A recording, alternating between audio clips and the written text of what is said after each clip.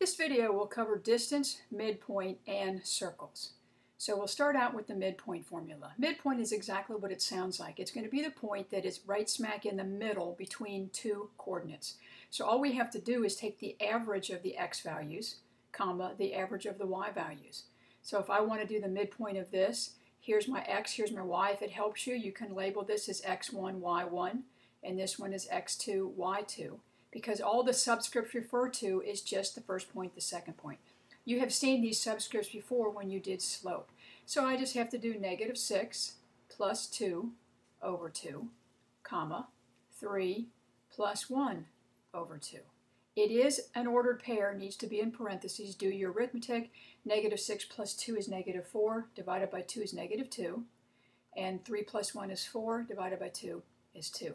If we took the time to graph these, you would see on a graph that this point is right in the middle of that segment. Another example, same set, we're going to do 4 plus 1 over 2, and we will do negative 8 plus 6 over 2.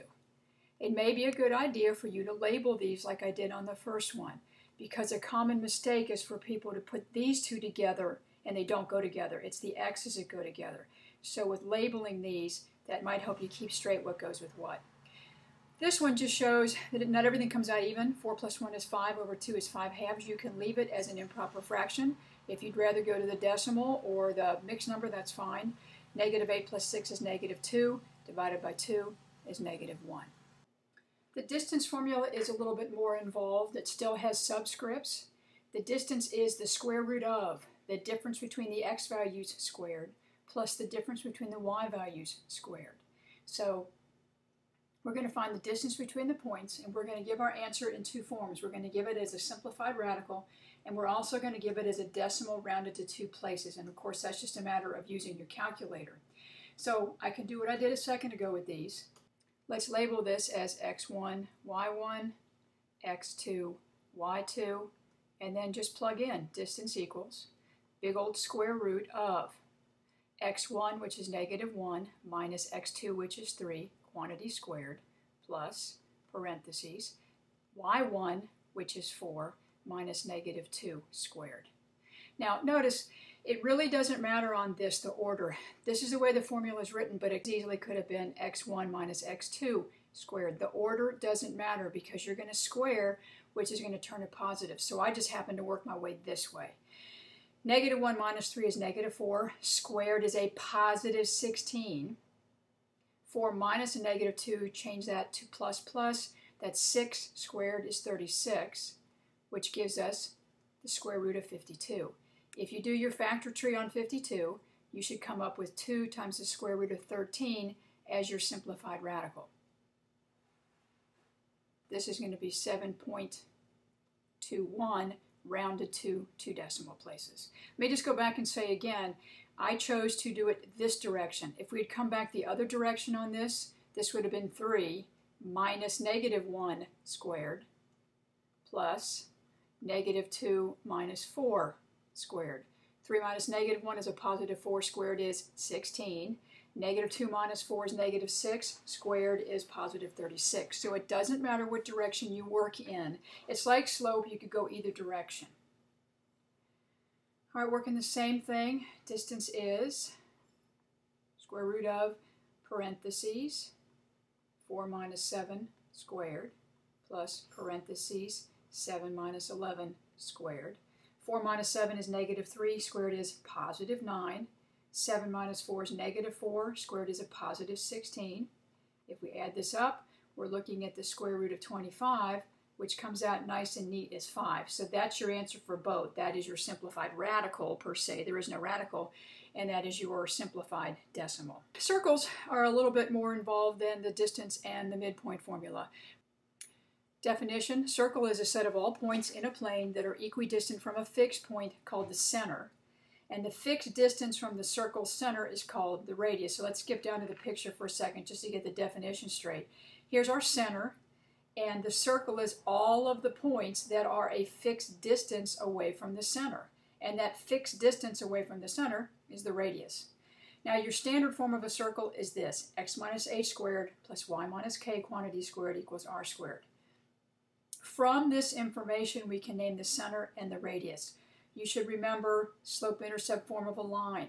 When you had an equation in that form, it was very easy to name the slope and the y-intercept. It's the same concept here. When it's in this form, it's very easy to name the center and the radius. What we do here is just change the sign. That's minus h, and that's why that becomes h. That's minus k, and that's why that becomes k.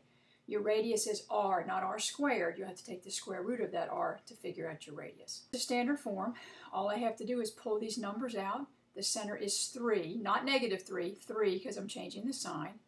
Change that sign is 2. The radius is the square root of that 9, which is 3. In this case, that square root came out even. Sometimes it doesn't, and you have to simplify the radical or use a calculator for the decimal. To get a decent little graph of this, I just go over 3 and up 2 and put my dot for the center. And then I'm going to count this radius of 3 in these directions. I'm going to go 3 over, 3 up, 3 over this way, three down this way, and then do my best to try to sketch a circle. Very hard for me to do with this little tool. So it's supposed to be a circle, not a square or something. x squared plus y plus 4 squared equals 16. In this case, there are no parentheses around the x. That means the center is 0, comma something. Also, this says y plus 4, so change that sign and we get negative 4. Take the square root of 16, and we have 4. So we have a center of 0, negative 4. Count 4 in every direction, 4 up, 4 this way, 4 this way, 4 down, and then try to sketch your circle, and that's that. Center on this one, change the sign as 5, change the sign as 1. The radius is the square root of 27. Now, two things you have to do. I'm going to want the exact answer, which is 3 radical 3, and we get that by doing a factor tree on 27. You know, 27 goes to 9 and 3. Here's your pair of 3s, so it's 3 radical 3. That's the exact value for the radius. But you can't graph 3 radical 3 over here. What you want to do is use your calculator on the square root of 27 and just round that off to the uh, tens place because you're not going to be able to graph it very accurately anyway. So over 5, 1, 2, 3, 4, 5, up 1. I'm going to go a smidge more than 5 this way. 1, 2, 3, 4, 5 and a bit. 1, 2, 3, 4, 5 and a bit. Kind of hard to do over here. 1, 2, 3, 4, 5 and a little bit. Connect the dots up and that's supposed to be a circle. This one, there's no parentheses with x or y. That makes the center very simple. It's just 0, 0. The radius is the square root of 20, which simplifies out to 2 times the square root of 5 as far as your radical goes, but your calculator says the square root of 20 is about 4.5. So we will start at 0, 0 and count 1, 2, 3, 4 and a half, 1, 2, 3, 4 and a half, 1, 2, 3, 4 and a half, and a half. Did I count far enough? 1, 2, 3, yeah. Connect your dots, and there's your circle. Sort of. You get the idea. Previous examples were all in standard form, which made them very easy to name the center and the radius, but oftentimes the equation is not in standard form.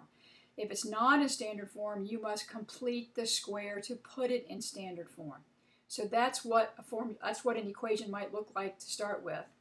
I need to organize it to get ready to complete the square.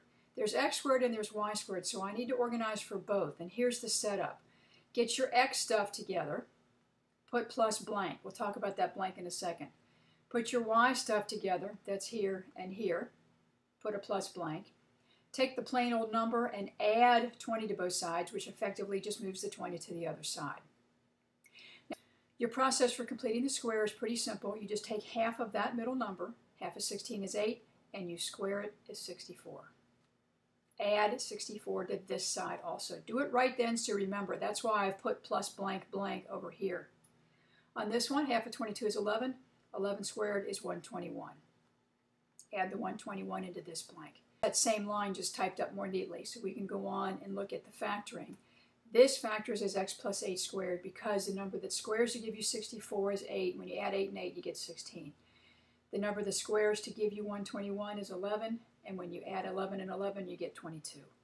equals 205. If you just do this arithmetic, you get 205. Now it's in the correct form. All we have to do is pull out our 8 and 11 for our center. Remember, change the sign. That was 8. It becomes negative 8. Change that sign. It becomes positive 11. And the square root of 205 is your radius. It doesn't simplify out radical-wise, but when you use your calculator, you get 14.32. There's more completing the square on the next video entitled Circles Completing the Square.